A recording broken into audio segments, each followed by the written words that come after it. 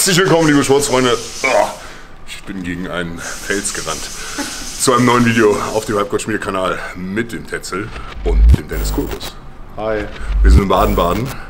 Ich bin frisch zurück vom Wettkampf, habe mich gerade so langsam wieder erholt und heute, tja, heute sind wir so ein bisschen nach dem Motto hier, wir gucken mal, was passiert.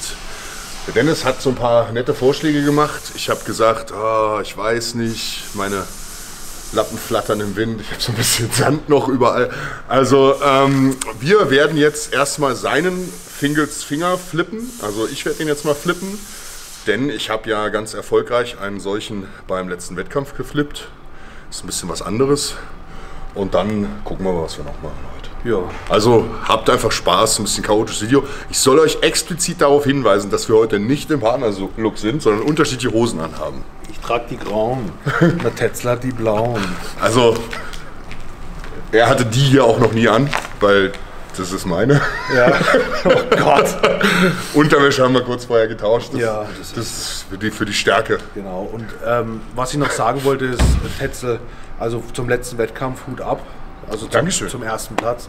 Also ich habe mir das auch alles angeguckt, alles super von der Leistung. Was mir jetzt persönlich aufgefallen ist, ist, das wollte ich dich jetzt auch fragen. Vielleicht schneiden wir das weg. Nein, nein, passt, nein, nein, ich habe extra gewartet, bis die Kamera läuft. Oha. Ähm, ich habe das Loading gesehen. Ne? Mhm. Du bist super mit dem Schild gelaufen, mit dem Tresor und alles. Aber der Gang zurück, Ja. da habe ich gedacht, das ist ein, ein, ein, ein, ein Oger auf, auf, wie kann man das nennen, auf Nahrungssuche. Und jetzt wollte ich dich fragen, du hast ja auch ein bisschen zugenommen mit deinen 130 Kilo. Würdest du sagen, es ist ein bisschen, es hat sich was verändert zum, zum Schritt, zur Geschwindigkeit, zur, oder, oder, oder sagen wir so, kehrt die Gemütlichkeit ein beim Gang? Grundsätzlich würde ich sagen, nein. Es war wirklich so, dass ich bei diesem, speziell bei dem Loading Race, ich bin ja, sagen wir mal, zurück schon flott gelaufen, aber ich bin mit Absicht nicht jetzt auf volle Pulle gesprintet. Okay, okay. Das muss ich sagen, das war ganz bedacht, weil ich nicht mich so overpacen wollte. Weil ich dachte, okay, wenn ich jetzt, die Herzfrequenz geht sowieso unglaublich hoch Ja. und wenn ich jetzt zwischendurch nochmal so einen richtigen Sprint mache Ja, und ja. nochmal wirklich das Herz äh, bis in den Hals schlagen lasse, dann äh, komme ich gar nicht mehr richtig klar. Und ich habe das bei einigen gesehen, speziell mein Gegner, Ja. der war ja die ganze Zeit vor mir und dann plötzlich war komplett sein System zu, auf der Hälfte mit der Ankerkette. Und genau so was wollte ich halt nicht, dass es mir Okay, passiert. also, also so dieses, dieses Haushalten. War so ein bisschen Haushalt, muss Genau. ich sagen. Ja. Es war ja schon die zweite Laufdisziplin. Und zum Schluss war ich ja auch zum Beispiel beim Finger dann der Einzige, der tatsächlich sich ein bisschen beeilt hat, hinter dem Finger hinterherzukommen. Okay. Auch wenn ich da jetzt nicht riesig gerannt bin, ne? das muss man dazu sagen. Ja, Ja, das war, das war schon mir mit Bedacht. Ich habe mir schon gedacht, entweder, entweder du, du haushaltest, ne? Genau. weil wenn man, wenn man dieses 190 Kilo Schild hat und dann anschließend diesen Tresor, weil der Tresor ist ja noch mehr Genau, aus ja. dem Schwerpunkt draußen. Und wenn du dann halt mit einer schlechten Lunge hinten ankommst, dann, So, so dann war du. noch, Ja. und was wir heute machen ist, da der Herr Tetzel ja den Finger in Litauen sogar gewonnen hat, mit drei, mit drei Flips, gucken wir heute mal meinen Finger, also auch so, so ein 200 Kilo Monster. Der Kameramann steht schon drauf. Und dann gucken wir mal. Der Finger ist leicht lediert, kann sein, dass ihr äh, hier Mord und Totschlag erlebt, aber Bitte nicht. Tetzel hat sich beschwert, bei uns ist es ein bisschen kälter als bei ihm. Ne? Ja, ich komme gerade aus dem Raum Heilbronn, da waren 8 Grad. Und hier ist gerade so 1 Grad. Ja, dann würden Komm wir einfach machen, ne? Jetzt probieren wir mal. Wir, wir probieren es einfach mal. Kamera, man, bleibt, bleibt drauf. Also du müsstest jetzt vielleicht runter, lieber Marcel. Ich weiß nicht, nee. Hm. Ja, ja, ich überlege, ob ich den genauso aufnehme wie da, dass ich den so ich seitlich. empfehle ich empfehl's dir. Ja, auf den Solarplex. So, ein bisschen nach hinten gelehnt, dann greifst du hier um und dann. Ja. Ja, und Seite. Ja, und jetzt auf die Schulter. Genau. Und raus dann. Komm. Komm. Weiter. Komm. Komm. Komm. Komm. Komm. Da geht's schon. Komm. Komm. Super. Super, super, super, super. Super.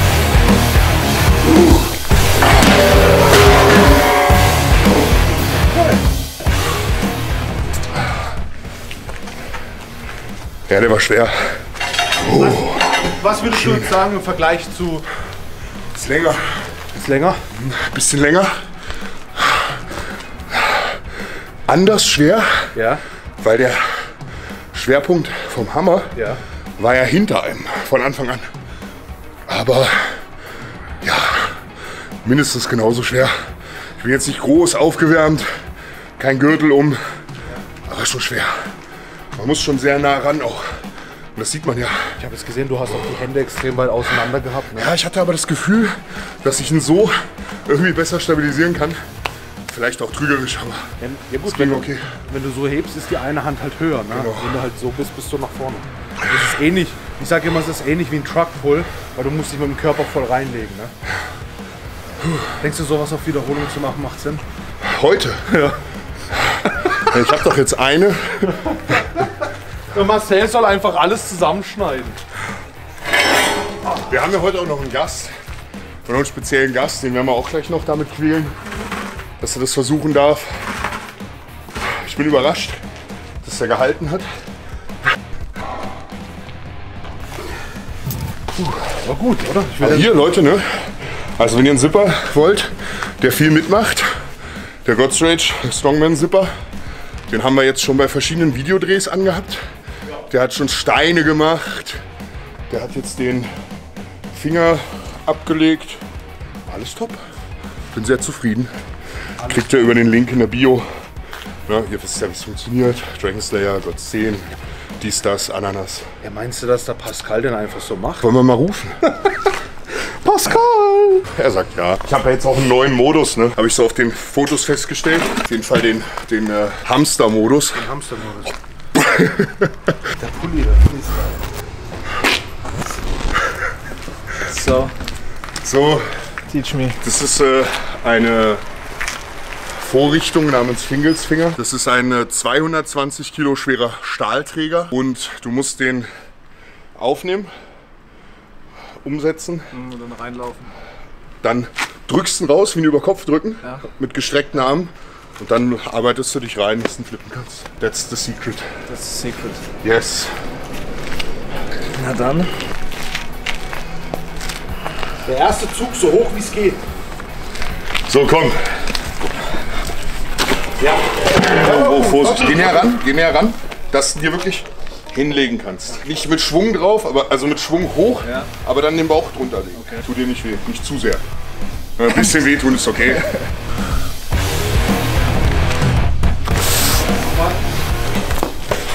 Aber schon besser. Hast du schon mal Hollandsachse gemacht? Nee. Pass auf. Wenn du pass auf, das, das System folgt, du ziehst, jetzt gehen wir mal davon aus, du ziehst die Stange und legst sie dir hier oben drauf. Bei vielen Athleten passiert es, dass die Hantel wieder runterrutscht.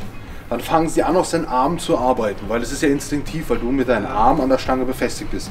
Nie mit den Armen arbeiten. Du ziehst, pupp. Guck mal auf die Beine. Pupp. Pupp. Und wenn er dann hier ist, eins, zwei, und dann wieder Beine. Hupp. Zack. Oder so. Okay? I try. No, there is no try. There's no try. Yes. David, du kannst auch lernen. Ja, super locker. Lauf hin, lauf runter, Genau. lauf, lauf runter. Gerne. Arme lang. Greifen. Komm. Lass die Arme lang. Lass die Arme lang und mach die ganz kurz, ganz kurz. Komm. Wenn es nicht mehr geht, sag, gell? Okay, ich bin da. Lass mich. Leg, leg den Reifen hin, leg den Reifen hin. Leg du den Reifen hin. Ich bin da, alles gut.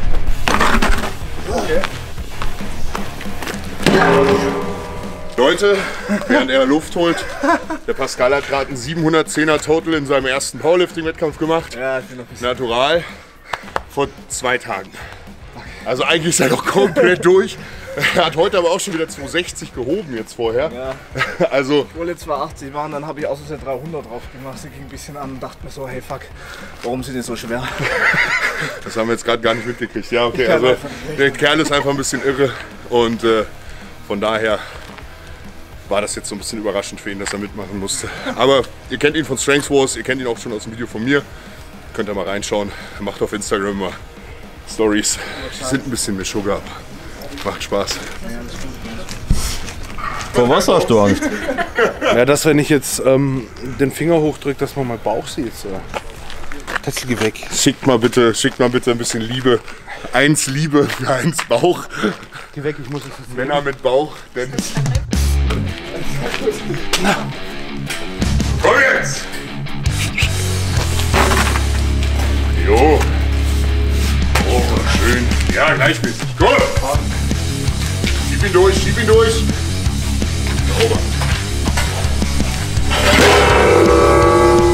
Ja, man sieht, sehr geübt, sehr gut. Du musst. Hat er fein gemacht. Es ist immer so diese, viele Athleten, die gehen dann zu weit. Wenn du wirklich zu weit gehst, dann hast du verloren. Beim nächsten Mal vor dem Wettkampf übe ich es mit dir. Diesmal hat es auch so geklappt. Nee, das ist gut. Okay. Also, das ist schon ein schwerer Finger. Vielleicht machen wir nächstes Jahr einen Wettkampf und dann kommt der da dran.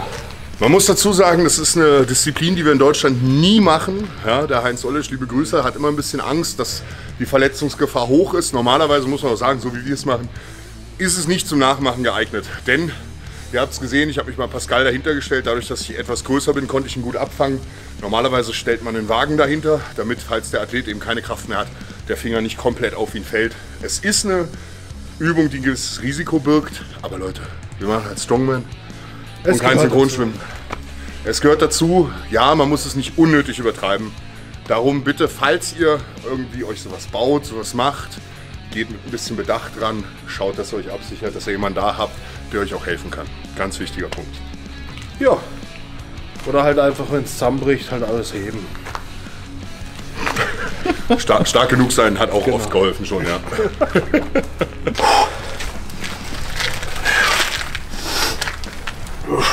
er kriegt nicht genug, der Rottweiler, er hat sich festgebissen. Sehr schön. Sehr schön. Leg ihn erst hoch, genau, geh ein bisschen rein, geh ein bisschen rein, genau. Dich auf die. Seite. Runtergreifen, runtergreifen, genau. Und Schwung voraus, Schwung voll. Okay. Stehst du? Komm, lauf rein. Hand für Hand, Hand für. Lass die Hände zusammen, lass die Hände zusammen.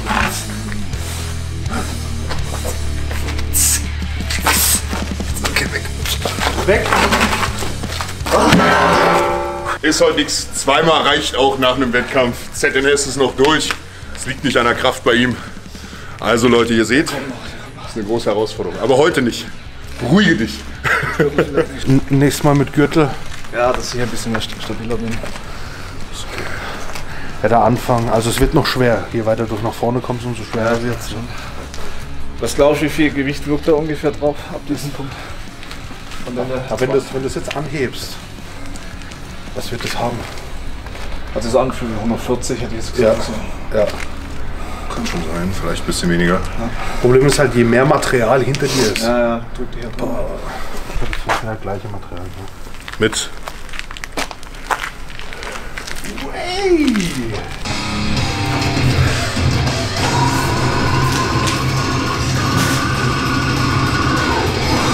Ja. Einfach gehen. Stopp, lass ab, lass ab. Entweder du nimmst, du, du nimmst einen Stone und setzt ihn um, Variante 1, oder du setzt ihn auf den Oberschenkel. Du hast jetzt Variante 2 genommen mit dem Oberschenkel setzen. Okay. Wenn du ihn auf den Oberschenkel setzt, greifen viele Athleten nach und greifen dann logischerweise weiter um den Stein. Das heißt, wenn du dann den Stein nach oben bringst und bewegst ihn nach oben, geht die linke Hand, geht die unter den Stone und die rechte bleibt hier. Okay. Und schon blockierst du dich. Das heißt, wenn du den Stein hochziehst, musst du auf halbem Weg kurz aufmachen, nachfassen und ihn dann komplett hochschieben. okay. Weil Ziel ist es, eine Hand, so zu stellen und genau, eine Hand wegzumachen. Stoneman. Und, und das Faszinierende, jedem, dem ich es beibringe, der die Kraft hat, diesen Stein zu bewegen und ihn zu schultern, kapiert es erst so nach dem 8., 9. oder 10. Mal, dass er kurz. Siehst du, was er macht? Hast du das gesehen? Nein, ich hab's nicht gesehen. Mach das bitte nochmal. Er lässt den Stein kurz auf. Ja, okay. Er lässt kurz locker mit den Händen noch heute. Guck dir das mal an. Hetze bitte.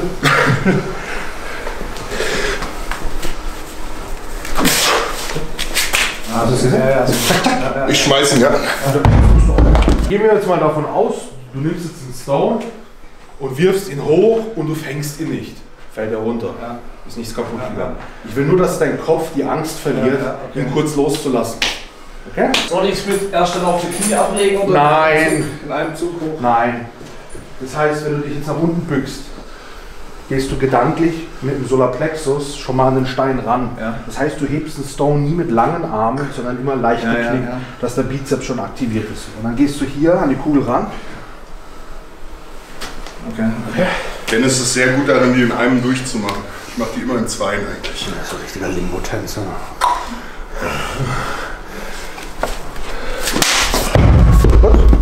War schon gut. Das heißt, du hast ihn jetzt gerade nach oben geführt, in der geraden Linie.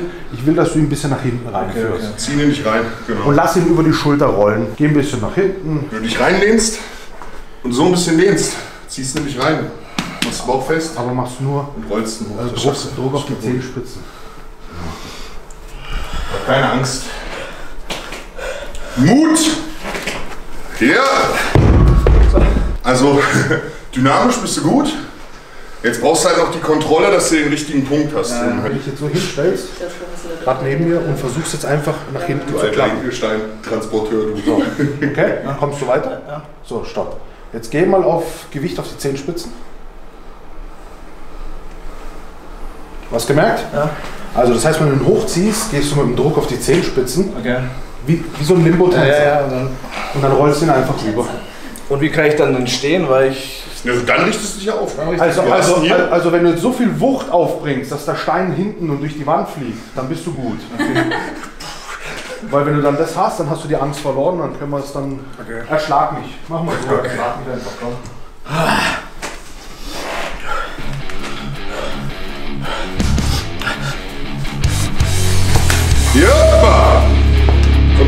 Genau. Ja. Das war's schon. Schön. Geht doch. So. 130er Atlasstein. Über Kopf drücken. Mal gucken. Tänze, ganz kurz noch, den schwersten, was du über Kopf gedrückt hast. Ich kann, also 113. 113. Ja, strict. Ob du das jetzt strict machst oder so, ist mir scheißegal. Komm, das kriegst du hin.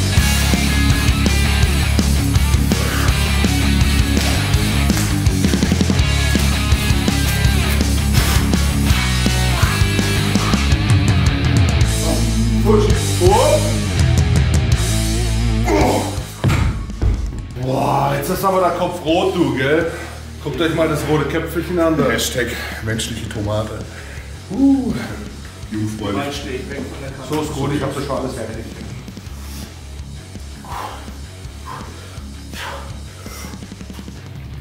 Ja, genau. Schön.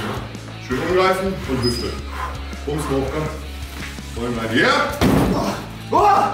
Fuck yeah! Ah! Gut, der war super. Stormenkarriere. Ja, na, wird Zeit. Wird Zeit. Up the Dread und boom! Up the tr- So was sagen wir nicht auf seinem Channel. Up the train. Hast du alles aufgemacht? Ich geh weg hier.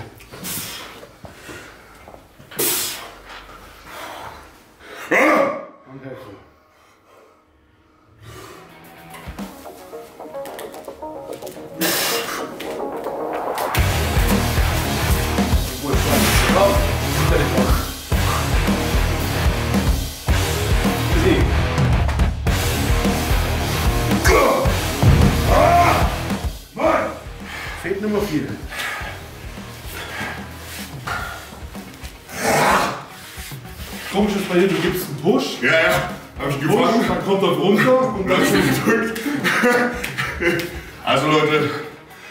Das letzte Mal habe ich mich echt gequält, ihn zu schultern.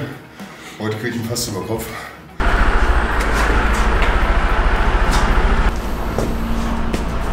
Ja, wir haben den Finkelfinger nicht weggeräumt, aber er schlängelt sich mit seinem immens großen Teil am Finger vorbei.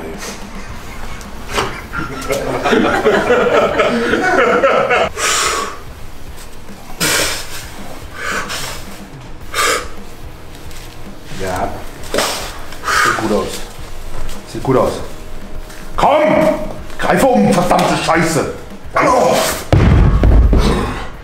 Uh. Ui. Leck! Leck, was ist das für ein Schädel, Alter? Ja, irgendwann wird's, irgendwann wird's halt schwarz. Ne? Ey, 160er ohne Harz. Habe ich noch nie gemacht. Jetzt schon. So, Sportsfreunde, das war ein kleines Video mit dem lieben Dennis Kohlrus. Ihr könnt seinen Channel abonnieren, also irgendwo in irgendeiner Ecke taucht das auf zum Ende des Videos. In der Outro-Karte, wir haben ein bisschen Fingelsfinger gemacht, wir haben ein bisschen mit Steinen rumgespielt. Ich hoffe, ihr habt ein bisschen Spaß gehabt. Ja, also mit sehr viel Material, ich glaube, da kommt ein bisschen was von weg. Aber waren auch ein paar gute Tipps dabei. Und ihr schaltet einfach wieder ein beim nächsten Video auf dem Kanal Und bewirbt, vom Dennis Kohlrus bewirbt dein Code. oder auch gerne auf meinem Channel. Alles weitere findet ihr in der Beschreibung. Folgt uns gerne auch auf Instagram. Instagram. Das freut uns immer sehr, wenn wir da Feedback bekommen. Ja, Dankeschön. Frohes Fest, gesundes neues Jahr wünsche ich euch an dieser Stelle, was auch immer ihr feiert. Und dann sehen wir uns spätestens im Jahr 2019 mit dem Dragon Slayer Mode.